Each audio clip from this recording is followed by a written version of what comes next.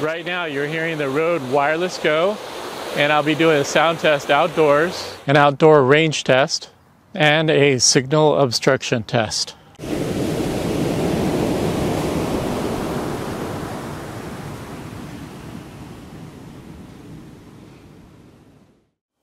Hey guys, thanks for stopping in. My name is Mark. The Rode Wireless Go, which you're hearing right now, is a really cool microphone. Tiny, has a built-in mic, and many other features you'd want and need, all for just $199. We'll first take a close look at the transmitter and receiver, then show you the tests, during which I uncovered an important limitation that might deter you from buying it.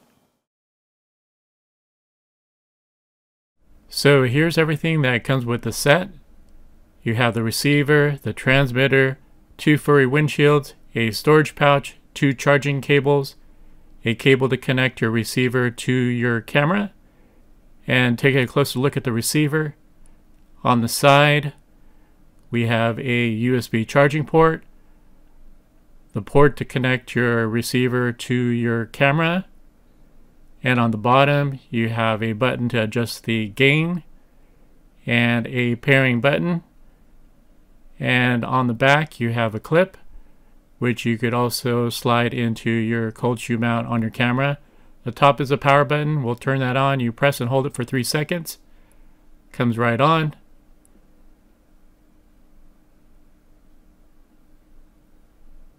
Okay, on the bottom, the gain button, if you press it, you'll see the graph on the bottom. You have full gain, low gain, and medium gain. And with the power button, if you hold it down for about a second, you'll see that sun symbol in the light. There's a little white dot that appears and disappears. That allows the display to turn off automatically after a set period of time. On the transmitter, you have the power button on the bottom, opposite to the power button location on the receiver. You have a light for when you are paired, a light for the battery, the built-in microphone, the built-in microphone is recessed and it has a little lip on there to keep it from getting scruffing sounds introduced. Then of course you have the input for the microphone. Now we'll go ahead and turn on the transmitter. Looking at the receiver display, press the power button, It takes about three seconds to come on. It's on and you can see there's a peak indicator bar and colors to show when you may be introducing distortion. And at the top of the display, you see the battery level for both the receiver and the transmitter, which is a great feature. Alright, so let's take a quick look at connecting a microphone to the transmitter. So with my lavalier mic, it actually has a TRRS plug. So I needed an adapter from TRRS to TRS. Plug that into the transmitter and you're set there. Now you can power up both the transmitter and the receiver while it's in use. I have a power bank hooked up. And if you look in the top left of the display there, you'll see a tiny lightning symbol indicating that it is being charged.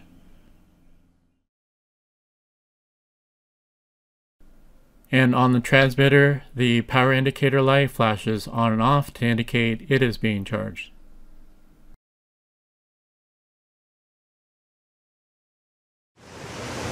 This is a sound test of the built-in mic.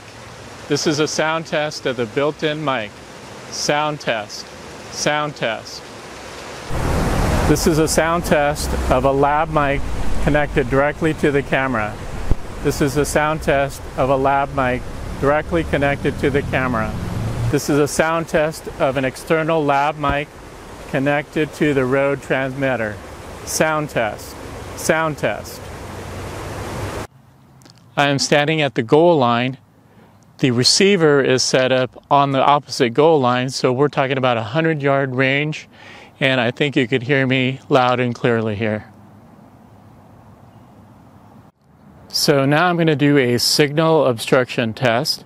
And by that I mean I'm going to face away from the camera and have my body in between the transmitter and the receiver on the camera. I'm also going to be playing some white noise so you could hear the dropouts better.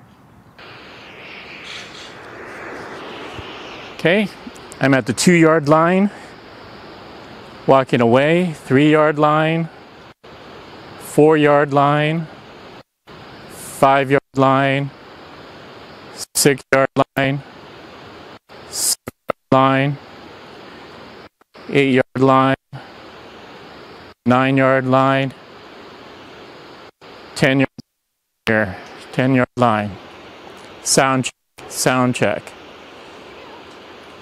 Eleven yard line, twelve yard line, fifteen yard line, fourteen yard line, fifteen yard line. Sound check, sound check. All right, so you should have heard a dropout maybe at the 10 yard line, and now we're connected back, so you should hear me just fine now. I'll go ahead and walk back here, and of course, we'll have a clear signal. All right, guys, so I wanted to go into a little bit more detail about two of the tests related to the range test and the obstruction test. With the range test, I had rock solid connection, no dropouts, all the way out to 100 yards and probably a little bit further. The key factor here is that I had clear line of sight, so nothing obstructing between the transmitter and the receiver. With the obstruction test, the results were rather disappointing. I had dropouts that were first occurring as soon as 6 feet away, although some tests I was able to have a solid connection as far as 30 feet away. Now all these tests that I ran were based on two brand new systems and for the obstruction test, I actually did that over 10 times just because I couldn't really believe that I was having those dropouts in such a short distance. But the results were as I just mentioned. Alright guys, so that is it. I hope you found this video helpful. If you did, appreciate you hitting that like button. And as always, happy filming.